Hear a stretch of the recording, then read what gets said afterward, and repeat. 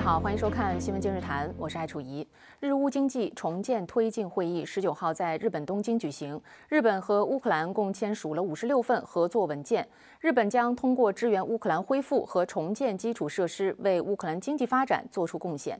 在俄乌冲突将满两周年，西方陷入援乌疲劳之后，日本为何坚定地支持乌克兰？日本与乌克兰签署的五十六份合作文件都涉及了哪些内容？对日乌双方有何意义？在日本内政方面，岸田内阁的支持率连续四个月处于危险水域，不支持率高达了百分之八十二。而日本的 GDP 被德国反超，也令日本国内忧心忡忡。经济疲软，支持率低迷，岸田如何应对？相关话题，今天我们邀请到清华大学国际关系学教授刘江勇先生做分析和解读。先来通过新闻短片了解一下相关内容。日本乌克兰经济重建推进会议十九号在东京举行，日本首相岸田文雄和乌克兰总理什梅加尔一同出席会议。岸田文雄在致辞时表示，日本会为乌克兰重建经济提供支持。本次会谈是日方对未来的投资。ゼレンスキー大統領はウクライナへの支援は事前事業ではなく、世界の安全保障と 民主主義への投資だと述べられました。私は、えー、さらに新しい意義を加えたいと思います。えー、それは未来への、まあ、投資です。経済復興、産業高度化のフェーズに至るまで、えー、また復旧・復興を持続可能とする基盤整備を含め、生活再建を後押しし、新たな産業創出で、ウクライナの経済発展に貢献すべく、さまざまな取り組みを進めていきます。安田还在开幕致辞中宣布了一项新的日乌双边税收协定，并透露双方已开启投资协定谈判，但并未说明具体细节。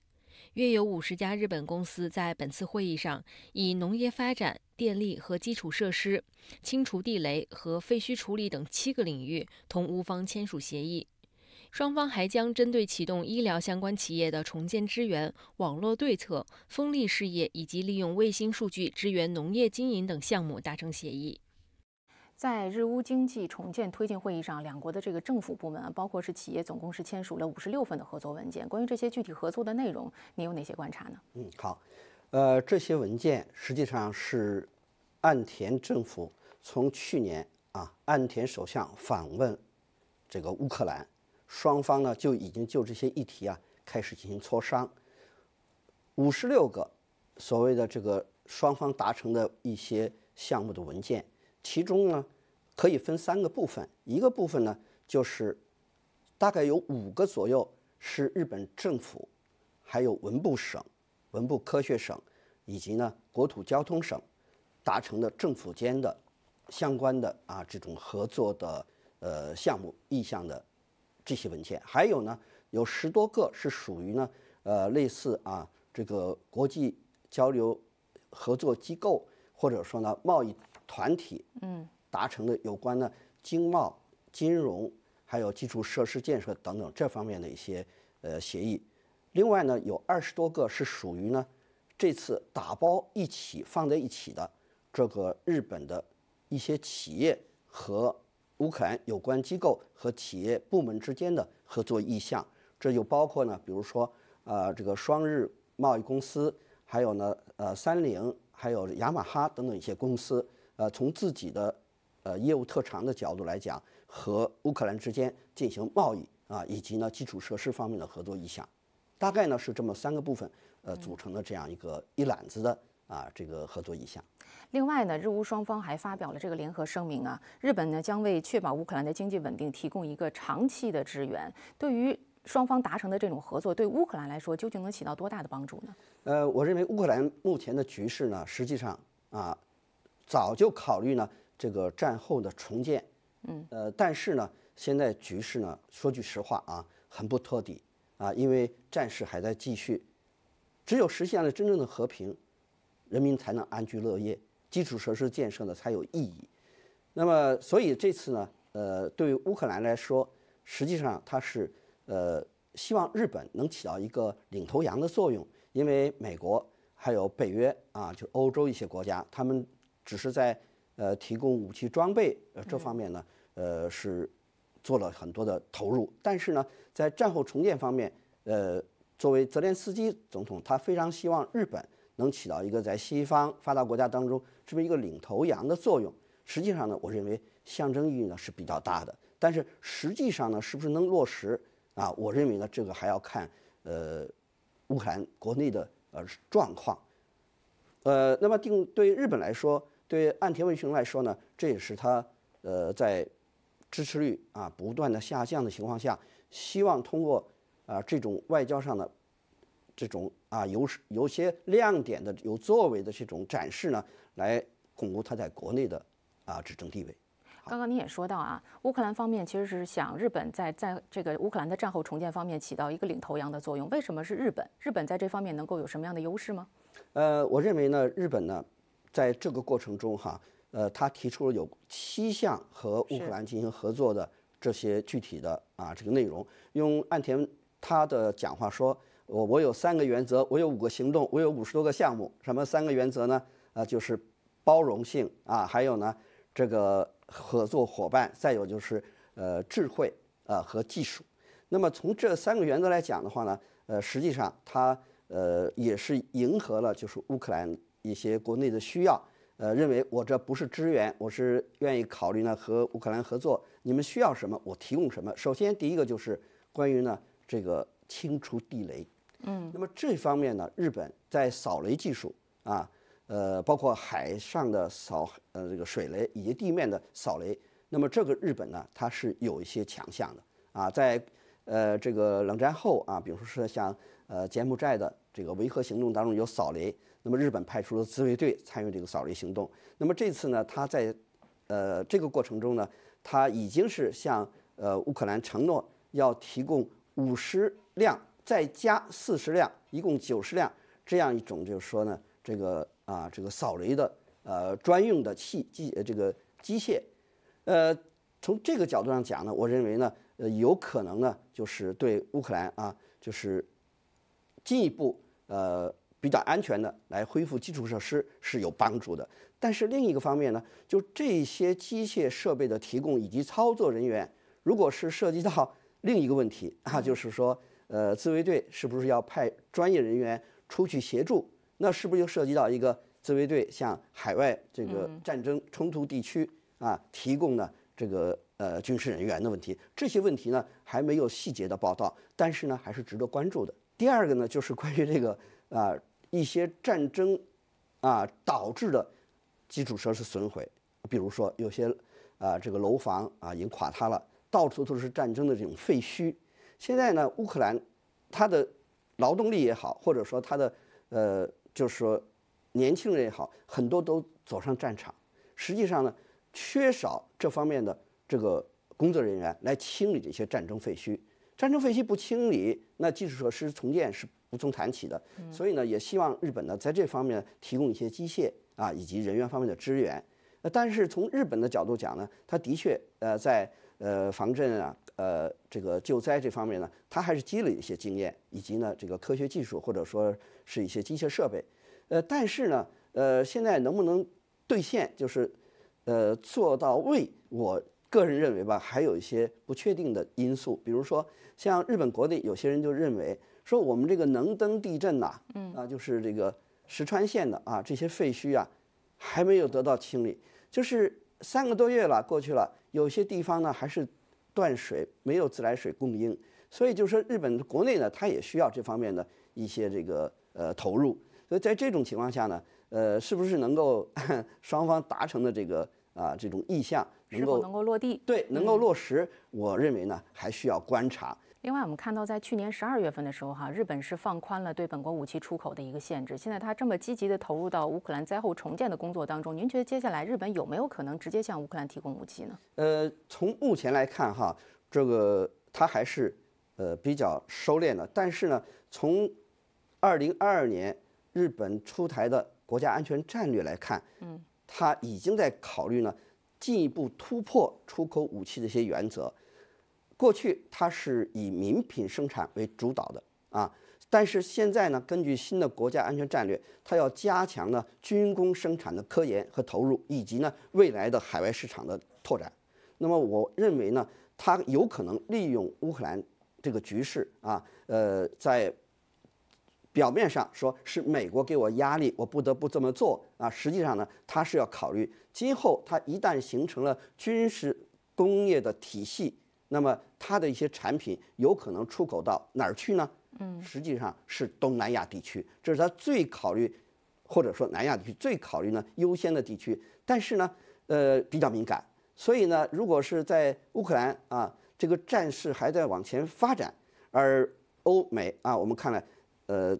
今年又给了很多的这个呃，就是呃，至少啊，在表面字文字上的啊，这个向法国提供什么三十亿欧元的这种援助等等啊。那么实际上呢，看欧美在这方面呢还是有余力的，是吧？所以呢，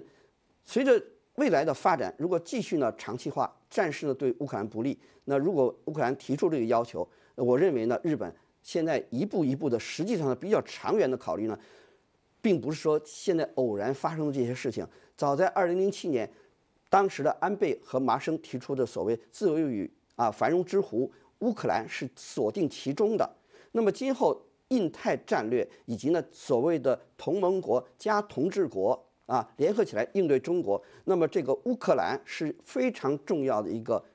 从日本未来考虑面向未来的投资是什么投资呢？实际上是战略投资。那么也就是说呢，要进一步从安全保障这个里这个角度也要考虑。这次他们双方呢还有一个呃就是呃文件啊，就是叫做情报保护文件，就是双方呢要就一些。秘密的文件情报呢进行交换啊，但是呢也要有双方的对外的保密措施。那么所以呢，我认为呃随着事态的发展啊，那么日本会一步一步啊从易到难啊，一步一步呢突破一些呢呃过去啊可能成为禁区有争议的部分，那么向安全保障领域呢继续伸出触角。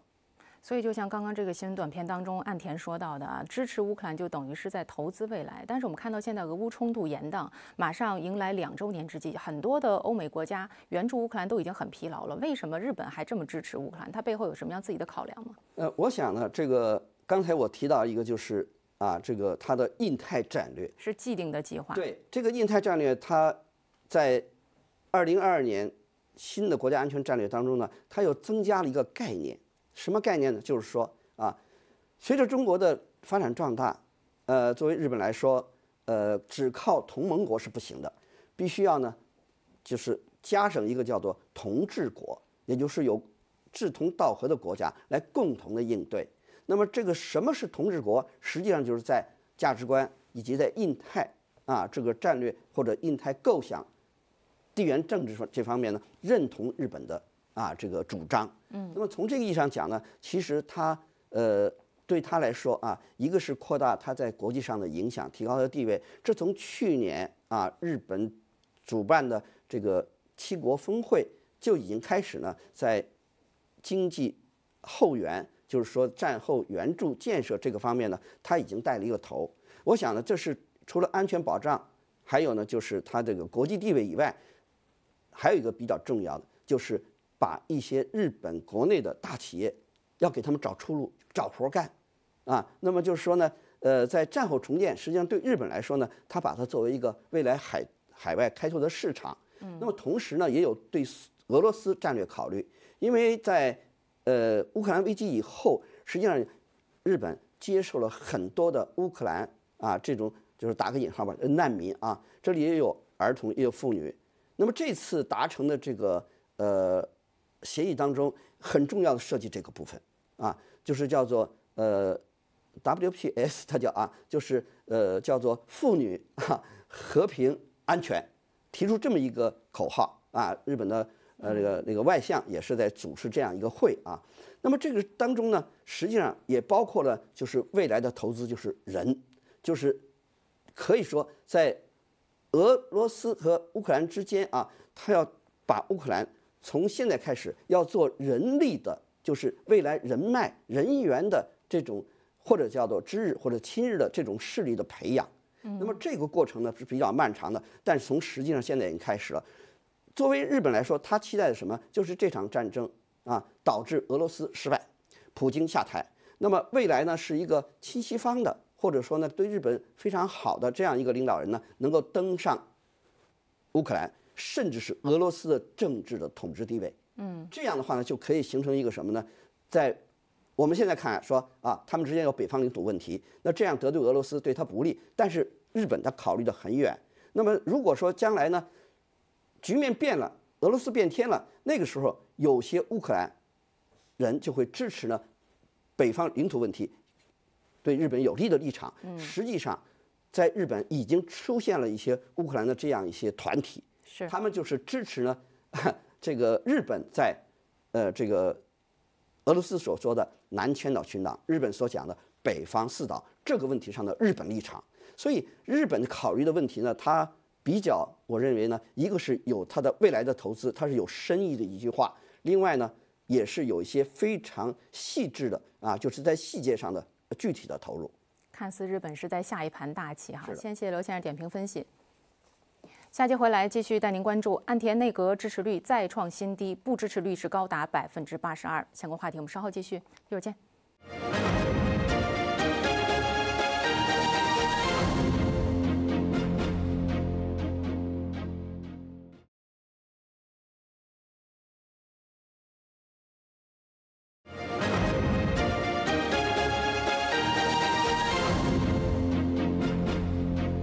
新闻今日谈，欢迎您回来。日本民调显示，日本首相岸田文雄领导的内阁支持率仅为百分之十四，是他自二零二一年十月上台以来的最低水平。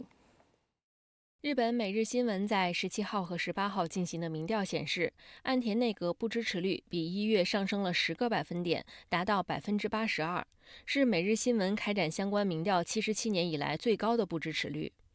而日本读卖新闻十九号公布的民调显示，本月岸田文雄内阁支持率为百分之二十四，不支持率为百分之六十一。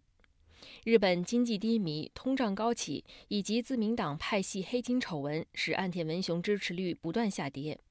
他在去年九月改组内阁，并在十一月推出综合经济对策，但未能挽回支持率颓势。日本内阁本月的支持率是自二零零九年二月以来最低的水平。在日本政坛，内阁支持率若跌破两成，被视为陷入下台水域。我们看到岸田内阁的支持率啊，其实已经连续四个月是处在了一个危险水域。根据每日新闻的一个民调显示呢，更是已经跌到了百分之十四。为什么岸田的支持率是跌跌不休？您觉得他有下台的可能性吗？呃，首先呢，我认为哈，他的支持率不断下跌，其实呢是符合我们过去做节目当中的预测。嗯，但是为什么还在跌？就是有新的变量。第一个变量是由于呢，这个黑金政治啊，已经是造成了在现在日本通常国会当中，岸田文雄几乎就像受审一样啊，满脑袋是包，很多问题他回答不了。这些人他们的钱究竟是到哪儿去了，都是自己内部在调查，不是第三方的科学的客观的调查。当然老百姓不满。第二呢，就是我们知道。很不幸，今年一月一号，日本发生了啊这个能登地区的地震。可是呢，日本并没有像想象那样能够及时的、迅速的啊这个救灾，所以在三个多月以后啊，民调显示有百分之四十以上的受访者对岸田救灾处理并不满意啊。那么当然还有呢。呃，经济的问题，但是经济问题是一个，应该说是个常量，过去也有。那么现在呢，日本经济出现了很奇特的现象，那么就是它虽然经济啊整体来看是往下走，但是呢，它的股市是往上走的，啊，现在已经达到了几乎是啊这个一九八九年泡沫经济的顶点，就是三万八千点日均平均指指数。所以有人高兴，有人愁。那么这都是一个什么呢？未来日本泡沫有可能形成，最终有可能破灭这样一个呢先兆。所以日本老百姓并没有从中呢感觉到自己的生活得到了改善。有人呢可能是赚了不少钱，但是呢多数老百姓并不认同。说到日本的经济啊，看到日本内阁府在十五号公布的数据显示，二零二三年日本名义 GDP 是大约为五百九十一点四八二万亿日元，换算成美元的话呢，是被德国反超了。日本等于说从全世界的第三名跌到了第四名，日本国内是忧心忡忡。但是您刚刚说到日本国内的这个股市又非常好，那究竟日本的经济出了什么样的问题呢？呃，实际上是这样，就是第一个，就是它下跌到第四位，不是偶然的。是这三十多年来，日本经济啊一直是处于什么？就是叫低空飞行，增长缓慢。现在的原因是由于什么呢？就是由于美国不断的加息，没有减息，所以呢美元利率高，导致呢这个美国的股市上扬。那么另外呢，日本维持原有的货币政策，所以日元在贬值。日元一贬值，就使得它这个经济从美元计算的这个规模呢就缩水了。那么日元贬值又导致什么呢？就是大量的外部的资金，他们呢到日本股市投资的成本降低，所以一部分是由于海外投资进入日本的股市，这是很危险的一件事情。一旦美国那边有风吹草动的逆向的运作，那么海外的投资如果流向另一个方向的话，那它这个股市泡沫是很危险的。从日本经济本身来看啊，它也有它的就是另外一方面的劳动生产率的下降。那么劳动生产率呢，它主要是什么呢？同样的资金、人力成本的投入，它所带来的产出。那么实际上日本在这方面呢，并没有一个出色的表现呢。它在呃二十多年前大量的海外投资，实际上一些技术人员已经投到海外，有些到现在又退休了。它在国内这方面呢？又没有什么一些新的技术拿出来，那么最亮眼的也是炒得最热的，在股市行情上最热的就是半导体，那么实际上也就是这一两年炒起来的啊。究竟以后呢，能在多大程度上能支持日本整个产业的发展、实体经济的发展？我认为呢，还需要继续观察。另外，在半岛局势不断升温的一个背景之下，朝鲜跟日本之间的互动是非常的微妙的。在十六号，日本内阁的官方长官林方正就说呢，日本是正在准备朝日之间的首脑峰会。此前，岸田文雄也是多次表示说，已经做好了准备，愿意无条件的同金正恩进行一个对话。那日方的考量是什么呢？就是第一个呢，呃，是从本身的执政地位的稳定性考虑。那么我们知道，如果能在朝鲜啊这个方面，特别是呢。日朝领导人实现峰会这个问题上取得突破，显然是岸田外外交的一个成果。嗯，那么这对于他的内政满头是包的这样一个状况来说呢，那当然是一个求之不得的事情。那第二个呢，就是从目前来看啊，这个美国啊，在特朗普执政时期已经实现了美国和日本之啊，美国和朝鲜之间的这个领导人的峰会啊。嗯，那日本呢，他。当时是碍于安倍内阁非常非常的介意有关所谓绑架日本人的问题，他不跟，反而是坚决要求呢继续保持对朝制裁。那么这样就导致这个美国实际上也没有办法呢，就是轻易的解除对朝制裁，造成什么呢？美朝关系的又一步趋冷。那么现在呢，拜登政府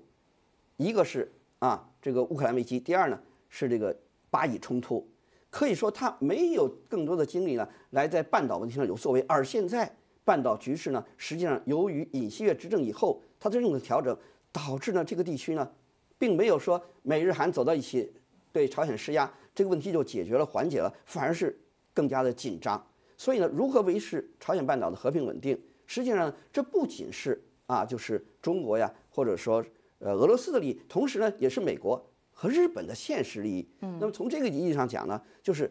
岸田这么做，他一定会跟美国沟通。所以拜登呢，我认为他某种意义上讲呢，也不会支持哎，不会从中就是作梗阻拦啊。嗯，对这个局势的缓和呢，实际上对美国也是有利的。所以从这个意义上讲呢，我认为这个岸田他曾经过去表示无条件呢可以和呃朝鲜呢进行对话。那么最近呢，也是他主动释释放这个空气啊，这气球啊，就是说呢，呃。可以呃考虑呢呃打破过去一些僵局和啊朝鲜的领导人呢呃这个会晤，呃当然朝方呢也是呃出乎意外的做出了一个相对积极的反应，两个信号，一个呢就是呃在今年年初啊我记得是一月五号啊当时呢这个金正恩啊委员长给日方发了一个呢慰问电，就是就这个地震之后嗯呃地震之后啊，那这也是呢，就是自可以说哈这个。呃，日本三幺幺大地震以后以来没有过的事情啊，对日本来说也有点吃惊。但是呢，日方呢，我现在观察呢，他接过这个球以后呢，实际上他在内部在有专，我认为他一定会有专门的班子来研究这件事情，非同小可。那么他现在呢，考虑就是说呢，一下说我完全就是说不想解解决这个啊这个嗯什么日本啊这个人质或者绑架日本这个问题啊，我不想解决了，这个说不过去，所以他还要坚持。但是呢，我注意到他已经有点呢把这个期望值降低了，他并不是说呢要一揽子解决，你要给我归还。那朝鲜说我已经解决了，我都给你了，嗯，啊，他说还有十七个，所以他现在降调了。他说什么呢？我们要首先搜集信息，把这事儿呢确认搞清楚。如果就是这个，如果是朝鲜方面呃答应了，我们可以谈啊。但是我有的立场，你有的立场啊，我们可以谈。但是呃，不妨嗯、你你到平壤来，一拍即合。所以我认为呢，就这个事情呢，并不是说没有现实可能性的。嗯。但是呢，呃，真正解决他们之间的一些结构性的问题和障碍，还有很多细节的矛还有很多路要走。好，非常感谢刘江勇先生的点评和分析，谢谢。也感谢您收看今天的新闻今日谈，再会。